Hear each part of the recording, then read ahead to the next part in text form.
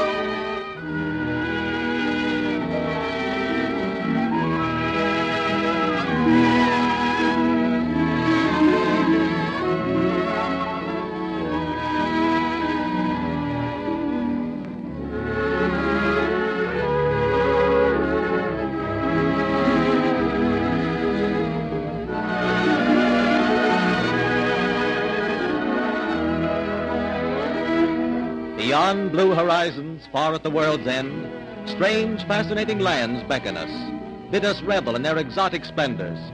Come with us as we head for of call.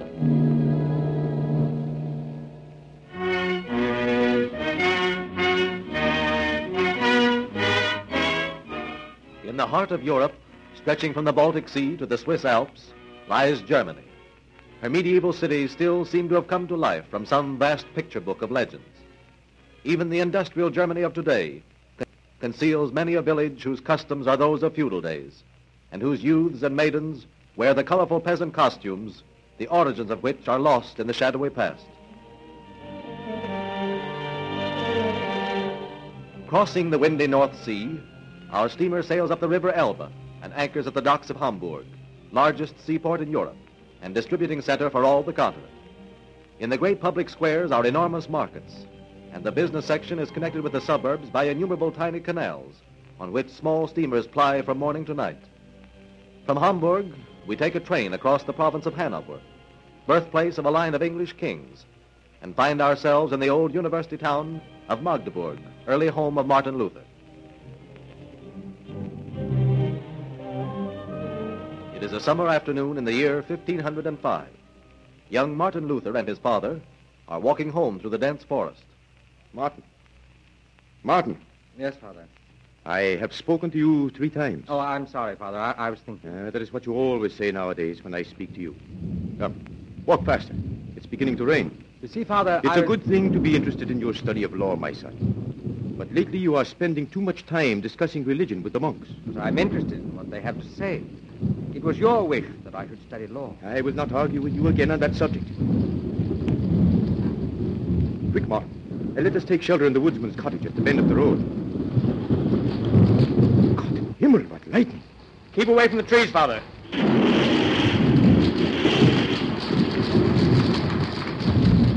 Martin. Martin, my son. Are you all right? Speak to me. Father. Ah, thank God you are not killed. The lightning struck you, Martin. Yes. Come, get up. We must hurry home. It is a sign from heaven, Father. As Saul received a sign on the road to Damascus. You're talking foolishly, my boy. You are still dazed. I know what I'm saying, I've been thinking about it for a long time, and I've done nothing. Now God has struck me down with the lightning to give me a sign that I must follow him. What? What are you talking about? I'm going to enter the monastery at Erfurt. But your mother and I will have no one if you do. You you can't leave us alone. God has called me, Father. Can't you see I have no choice? Tomorrow you and Mother can walk with me as far as the gates of the monastery.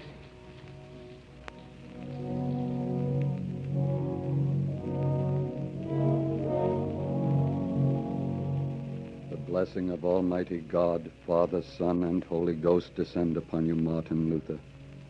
May you be blessed in the priestly order, and may you offer a pleasing oblation for the sins and offenses of the people unto Almighty God, to whom be honor and glory forever and ever. Amen.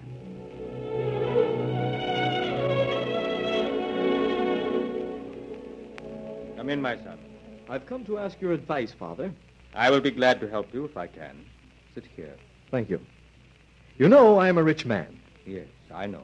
I've been told that by the payment of a certain sum of money, I may obtain remission of my sins. Oh, you are not the first to come to me with such a tale, my son. Where did you hear it? Father John Tetzel is teaching it. Do you think you can buy your way into heaven? Oh, no, Father, but my friend Herr Wilhelm Stettler was granted... My son, I have known for a long time that the power of Holy Church to grant remission of sins is being abused and even sold for money. I am only a poor monk. But what one man can do, I will. Those who teach that absolution may be granted by money alone are blasphemers. Yet if money is needed to carry on the work of the church, surely indulgence may be granted to the man who gives it. I cannot help you, my son. You did not come for my advice, but in the hope that my opinion would strengthen your desire. But, Father, these abuses must stop, and I am determined to do what I can to stop them.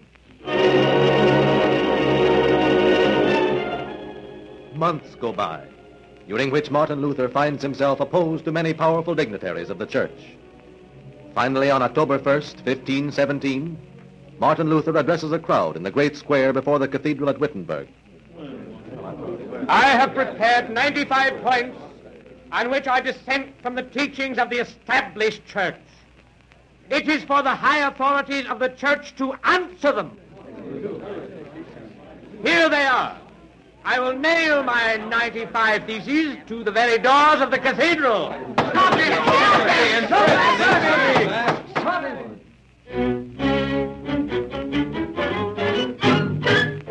September 1520.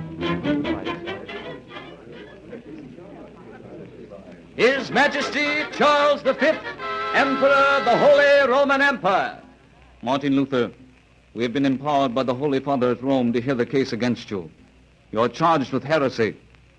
The Holy Father has issued a bull of excommunication against you, but it will not be read until we have heard the case.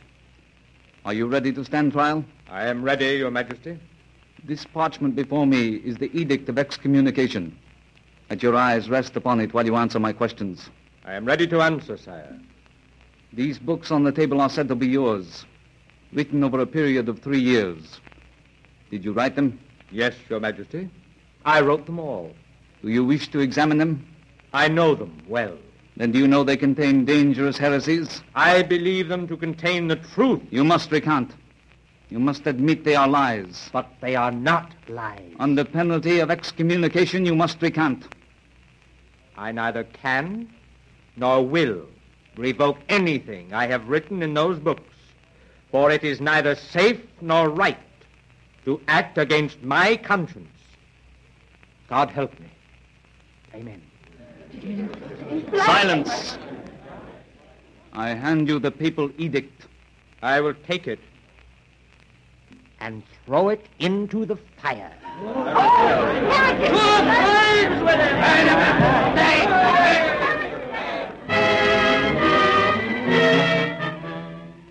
But Martin Luther was not burned at the stake. His teachings formed the beginnings of Protestant churches throughout the world. In all the German states, Lutherans grew more and more powerful and exercised a decisive influence in the disastrous Thirty Years' War which ravaged the country a hundred years later. It is the year 1735. In a small room in the royal palace, furnished almost as severely as the cell of a monk, Frederick I, King of Prussia, has summoned his eldest son, also named Frederick. I am here, Father. Bah! I am here, Father. You speak like a damned Frenchman. I have always told you I hated the German language, Father. It is harsh and guttural. When I am king... You may never be king of Prussia. I should not mind that, Father. You should not mind. No. So, you would rather spend your time with your Latin books and your flute and your French companions. Of course I would. Why should I wish to become king? After a lifetime of seeing what a king is like, You- you have always been harsh and cruel. You treated my mother as if she were an animal. You think there's nothing worthwhile in the world but discipline, discipline, discipline. I'm sick of the very word. I'm sick of being made to eat coarse food and sleep on hard beds and be cold and miserable because you believe that's the way to become accustomed to the life of a soldier. And I don't want to be a soldier. But if I must, I want to be a man first. And I suppose being a man means you want to marry Amelia, the daughter of the English king, eh? Oh, yes, Father. Oh, she is adorable, and what a queen she will be. And your sister has fallen in love with Amelia's brother, the Prince of Wales. Yes. Oh, a very good alliance that will make for Prussia, with Wilhelmina married to the King of England. So? Hmm, you will be glad to hear the news I have for you this morning. What is it? You are not to marry Amelia, But, Father, nor is Wilhelmina to marry the Prince of Wales. This time, in spite of you and your sister and your mother, I will say what is to be done. I have arranged a marriage for you with Elizabeth Christina, cousin of Charles of Austria. I won't marry her. I tell you I won't. Yes, you will marry her. You will learn that I am your master.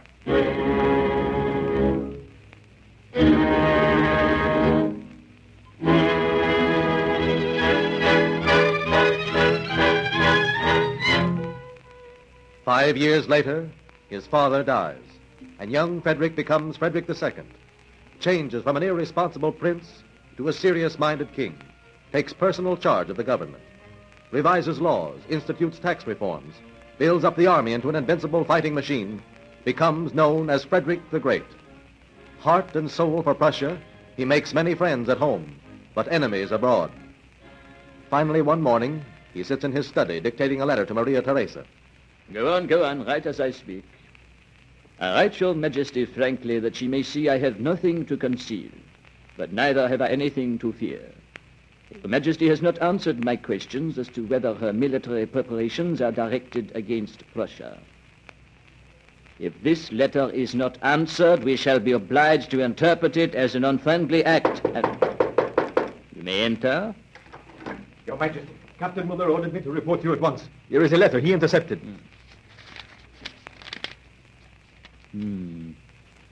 And the alliance between France, Sweden, and Austria is an accomplished fact.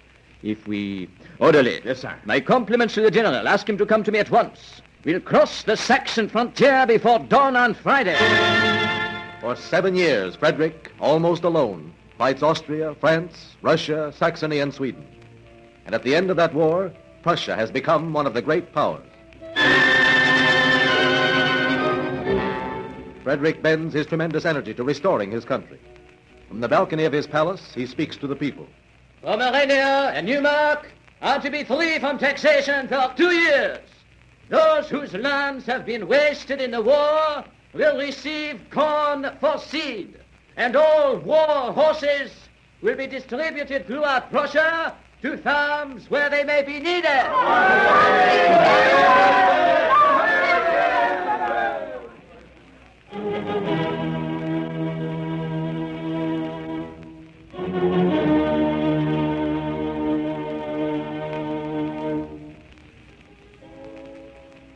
But Prussia's rising sun is not always clouded by wars.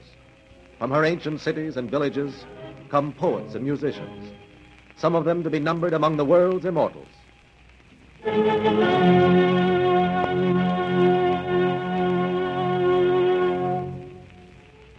Such a one is Goethe, poet, philosopher, statesman, scientist. His life strangely twisted by a tragic love, he pours out his heart in his verse. As he grows older, his friends are few. But among them is Johann von Schiller, poet and playwright, who, while visiting Goethe one day, notices a sheet of music on the poet's desk. Why, Goethe, what's that music there? Oh, it's another composition sent me by that young Ludwig von Beethoven. Another? Yes, he's constantly sending music he's written to fit my verses. You speak as if you thought nothing of it. Herr von Beethoven is a very brilliant young man. No doubt, but I am not interested in him. But Goethe, have you never heard him play? No. You should, by all means. I've seen him sit down at the piano and improvise so brilliantly that you'd swear it was a composition he'd labored on for weeks. I wish you'd let him see your Faust. My Faust? Oh, I know it's the pride of your heart. All the more reason why the music should be written by someone like young Beethoven, unhampered by traditions and not afraid to compose as he feels. No, Schiller. My Faust, as you know, is my heart. Perhaps I shall never let anyone see it. You know I have been writing it and changing it for years. But don't you see, a man who admires you as Beethoven must is precisely the person to interpret what you have written and set to music. No, I can't see it, Schiller.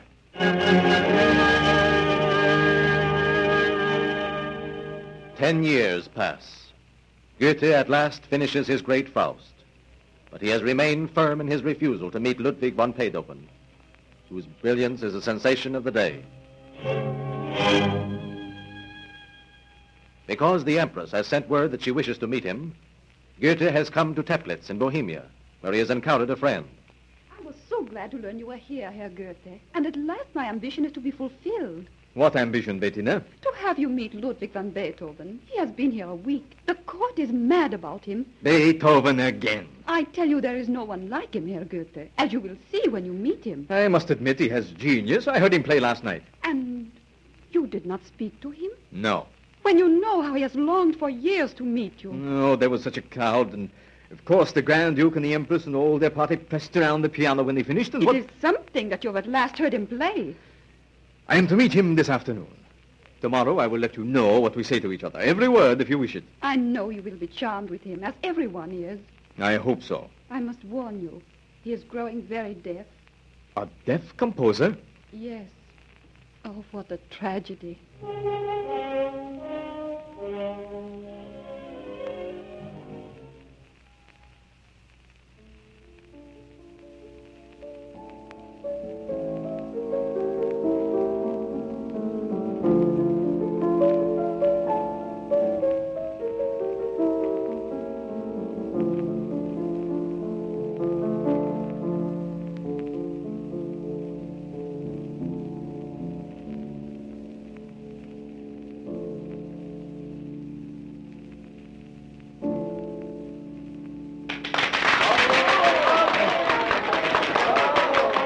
Goethe, Good afternoon, Herr Beethoven. come, we must go for a walk. But what about all these people?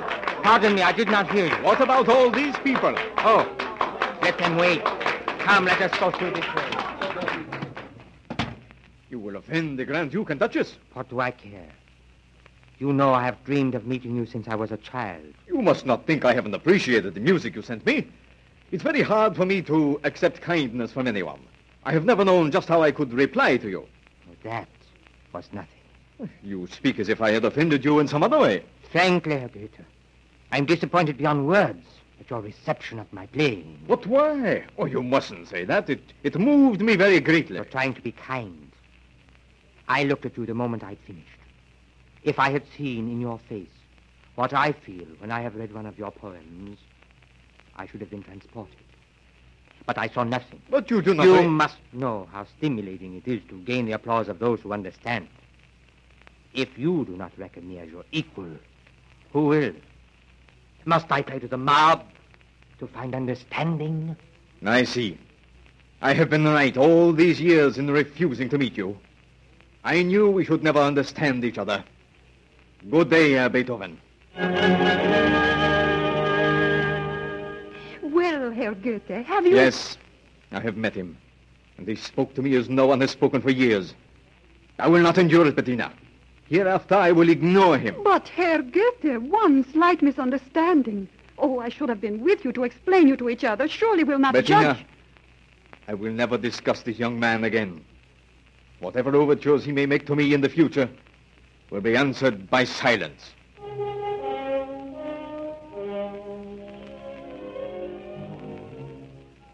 The two bitter geniuses never met again.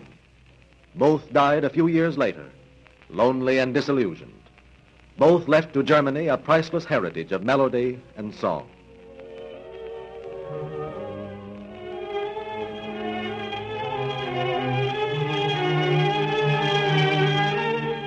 But while the German people were learning the tender Lieder of Goethe, Otto von Bismarck is preparing to teach a doctrine that is to shake the world. In 1862, he is made Premier and Minister of Foreign Affairs. A few days later, he makes his first public announcement of his guiding policy. Prussia must collect her forces and hold them in reserve for a favorable moment. The great questions of the time will be decided not by speeches and resolutions, but by blood and iron.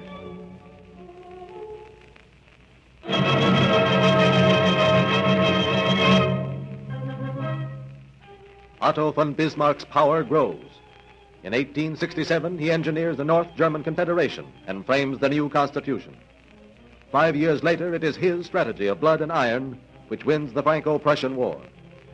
Finally, the German Empire is created. The Prussian king becomes emperor, and Otto von Bismarck, as imperial chancellor, reads the proclamation. We, Wilhelm by grace of God, King of Prussia, regard it as our duty to the whole fatherland to respond to the summons of the allied German princes and free cities, and to assume the German imperial title. 1889. Wilhelm II ascends the German throne. He summons the Chancellor to a private audience. Awaiting Bismarck's arrival, he talks to his friend, the Grand Duke of Baden. But surely you do not think of asking for Bismarck's resignation, sire. I haven't decided yet. But, but I'm heartily tired of him. He's always lecturing and making long speeches about his experience. Now, now he's grooming his son to take his place when he's gone. I know I must weary your majesty with these long-winded tirades. But if I were you, I would retain both the Bismarcks for the time being. Ah, yes, yes, you're right. But I shall have to teach him he is not the only man who can dictate German policy. I think it was being given a title that has made the old man insufferable. His Highness, Prince Otto von Bismarck. Mm, You'd better go. Yes, your majesty. Uh, good morning, Your Majesty. Your Grace. Good morning, your highness. I'm just leaving. I have sent for you because I have heard you disapprove of my attitude in the Russian matter. Our treaty with Russia expires next year. The safety of the Empire depends upon its renewal. Why should my cousin not wish to renew it? He is Tsar of Russia first, and your cousin second, sire. Bismarck, there are other men than yourself to consider when formulating the policy of the Empire. I have held the Empire together for a long time. But I am emperor now. There is another matter to discuss. I have reversed your decision in the miners' strike. Your Majesty, I am trying to provoke them into open rebellion so they can be dealt with. I mean to deal with them in my own way. What way? That I shall tell you when my plans are completed. Now you have our permission to retire.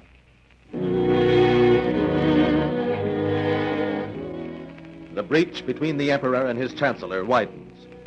A dozen times Bismarck is on the verge of dismissal. Finally, in 1890, goaded by Wilhelm's arrogance, Bismarck is forced to resign. The pilot leaves the ship. The man who spent his life to form the empire leaves it in the unproved hands of the young emperor. Germany bends before the glory and the power of the All Highest, the Caesar, called in the Teutonic language Kaiser.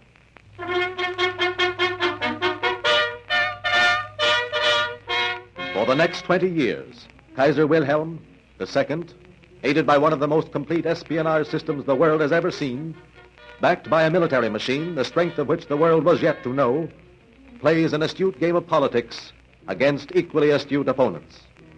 For 20 years, no one knew how the cards were stacked, whether or not there were five aces in the deck. Then, on June 28, 1914, an assassin's bullet, tearing through the body of the Archduke Ferdinand of Austria, breaks up the game. Six weeks later, Europe is in a grand free-for-all, which historians ironically call the war to end all wars.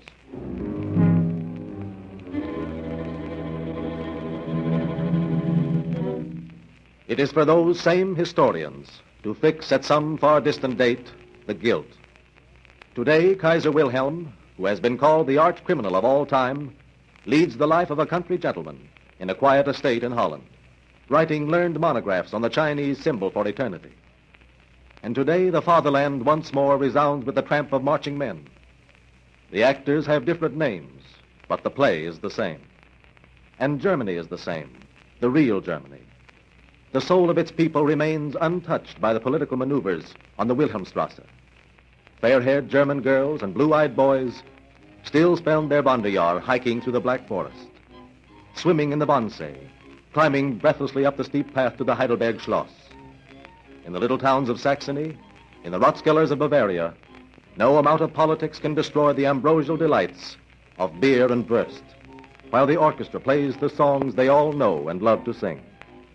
This is the soul of Germany, a simple singing people with a heritage of beauty and culture a thousand years old.